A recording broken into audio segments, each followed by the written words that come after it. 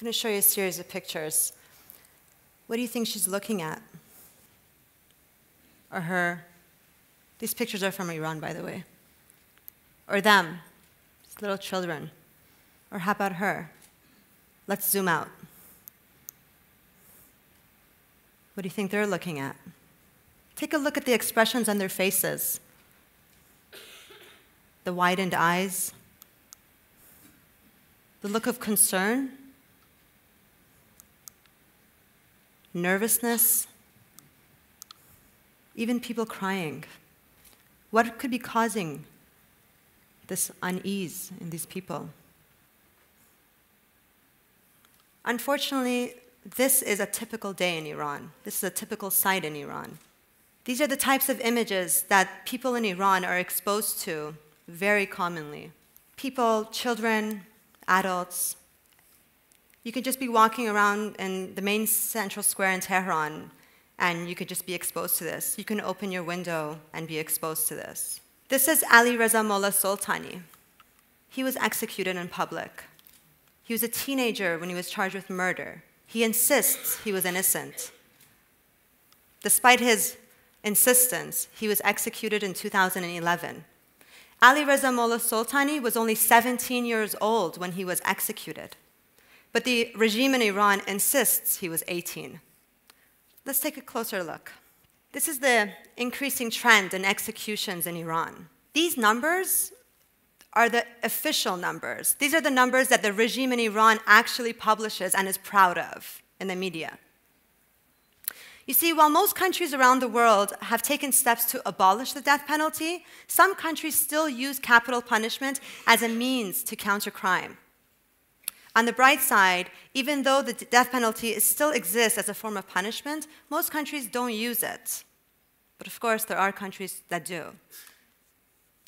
I have to name some of them because it's very important. It's not limited to these, but China, Iran, Yemen, North Korea, and the United States of America. Iran is home to the most executions per capita in the world, while China is home to the most executions. As I said, these are the confirmed official executions, the executions that the UN and human rights organizations use. And as you can see in 2009, when the popular Iranian uprising began, you can see a spike in the executions. These are the reported uh, executions we get from human rights activists, from inside the prisons, from our sources inside. As you can see in 2012, including the unconfirmed or reported executions, it's more, more than 800. So if you average that out, you're looking about over two executions every day in Iran. Executions, according to human rights activists, according to our analysis, executions is the main instrument that the regime in Iran uses to spread fear among civil society. As the Iranian regime loses its popular support, as we, can, as we saw after 2009, it will feel more threatened from the people and thus will increase the number of executions. Most people in Iran who are executed, their trial is conducted behind closed doors. They're not, uh, they're not given a lawyer, they have no access to a lawyer. Most often, their charges aren't even um, published. And we're not really sure why they were executed. But let's take a closer look at who is being executed. Who is so dangerous, such a threat to, I guess, I guess, to the regime in Iran that they must be executed. This is Mohammad Ali Haj Aghai. He was arrested in September 2009 after the, the, the uprising. He was charged with moharebe. Moharebe is an Arabic term. It means waging war against God. He's a moharib, an enemy of God. Muhammad Ali Haj Aghai, according to his prison mates, was one of the kindest men in prison. He used to clean the toilets when other prisoners wouldn't do it. Just, he didn't want the young people, the students, the political prisoners, the students to do it. Muhammad Ali Haj Aghai was accused of being a supporter of the Mujahideen Khalq organization of Iran, of being a supporter of them. He was executed along with Jafar Kazemi in January 2011. They were tortured to confess, to give televised confessions, and they refused to cooperate. This is Shirin Alam Huli. She was around my, I'm 30 right now, and she was um, executed May 9th, 2010, along with four other political prisoners, including a Kurdish teacher by the name of Farzad Kamangar. She's Kurdish as well. She was around my age when she was executed. She uh, was charged with uh, being a member of PJAK, a Kurdish opposition group. Again, her charge is Moharebe. Shirin, before she um, was sent to the gallows, she, she pleaded, she pleaded to, to talk to her mom one last time, and they didn't let her. These are five Ahwazi Arab activists who are on death row right now, and they need your voices. They are in imminent danger of execution. Ethnic minorities in Iran are the most vulnerable to executions. Baluchis, Arabs, Azeris, the list goes on. However, these political executions I just mentioned, I just use those two as examples. There's much more, of course. But in 2012, political executions for the charge of moharebe only made up 2% of the executions. And of course, for the regime in Iran, there, there's more liability by executing political prisoners, so they don't do it as often. There's more repercussions with each execution. But they do just enough to get away with it. And The world is silent. However, 70 to 80% of all executions carried out in Iran are for drug related charges. You see, the Iranian regime, and I don't use the word Iran because the Iran is the people as well. So I specifically say the regime in Iran, and I urge media to do that as well. The Iranian regime's war on drugs is supported by the United Nations Office on the Drugs and Crime. The United Nations is very active in giving millions of dollars annually to the regime in Iran to make sure that they're fighting against the war on drugs. The situation is very complicated, and I don't want to get into it, but there's lots of readings on it online. Now, the UN has good intentions. They want to keep the drugs from coming into Europe. So what they do is they give money to the regime to make sure that you know the border, uh, they're controlling the borders, Afghanistan, Pakistan borders, not allowing the drugs being transited into Iran and taken into the Persian Gulf and Europe, and uh, and at the same time they they fund rehabilitation and crimes and punishment. The irony of this all is the people, member countries who are giving money to this program for Iran, are democratic countries countries that don't have the death penalty.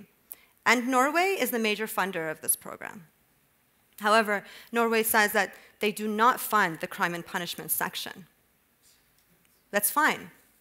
However, there's no effective monitoring system in Iran, so you really don't know where the money is being used. But even if you do,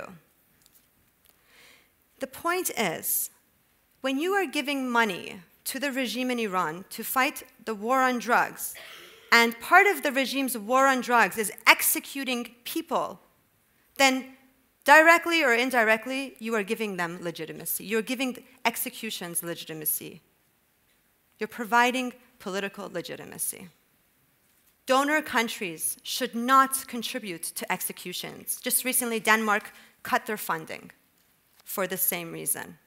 And we urge donor countries not to not give funding, because rehabilitation is important, but make your funding conditional.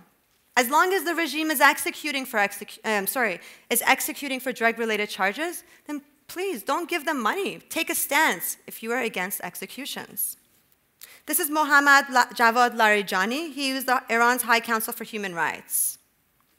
So I just want to show you the justification so he says, we cannot win this war alone. If Europe is interested in the prevention of the trafficking of drugs, then it should participate in this war. Well, Europe is happy because the drugs are being kept out of their country, and everyone is turning a blind eye to the victims, the Iranian people, the 70 million Iranian people. Because it's not, the victims are not only the people being executed, the victims are those who are being exposed to the executions as well. So, this is what he says to Europe. This is how he gets them to stay on his side. But what does the regime in Iran say to the people? Because the regime in Iran cannot say, well, we're cooperating with the West and use that as a, a source of pride, because, I mean, they pride in their anti Western rhetoric, of course. So, what do they say to justify cooperating with the UN and Europe? It is our Islamic duty to fight the war on drugs. So, who are these um, drug lords that the regime is executing? I mean, they must be really dangerous people. Well, this is Leila Hayati. Leila was uh, very, she was around my age as well when she was executed. She wasn't a drug lord. She's part of the low income of Iran. She, was, uh, she basically introduced someone to a drug dealer, and uh, they arrested her for that. And then later on, they, they charged her with possession of seven kilograms of drugs. And then she was executed. There are many, many Leila Hayatis out there. I want to just tell you a little bit more. There's Huria Sabahi. We don't have pictures of them. She's the only picture we have, so she will be the symbol for the others. There's Huria Sabahi. she was 35. She was a single mother of five children. One of her children has special needs. And then there's Roghie Khalaji. She was 32. And she was a single mother of a 12 year old son and a 10 year old daughter. Huria's family didn't even have money to pay for her funeral. Are these the types of drug lords that are so dangerous that they must be executed? So, as you can see, it's not necessarily about executing these people because they're a danger to society. There must be something more to it. And human rights have, activists have concluded that these people are being executed to spread fear among civil society. This is Zahra Bahrami. She's an Iranian Dutch citizen. She came to visit Iran in um, around, the around the time of the uprising, in 2009. She was political. She had a blog. She was critical of the regime in Iran. She was arrested, charged with moharebe, and then later on, magically, a new case file was opened for her, and she was, uh, she was executed for drug trafficking. These are the people that the Iranian regime is afraid of. These are the people that the, the reason why the Iranian regime is executing, to keep them silent. By executing, the Iranian regime is displaying a harder and stronger image to civil society. The regime aims to seem more powerful than it is in order to prevent dissent among civil society. By conducting executions, the regime is telling people they are powerless and that efforts to change the regime is useless. We're here to talk about fear, right? Well, based on what I said, it seems like the regime is the most fearful. And the regime is most fearful of these people right here. And that's why they execute. Thank you.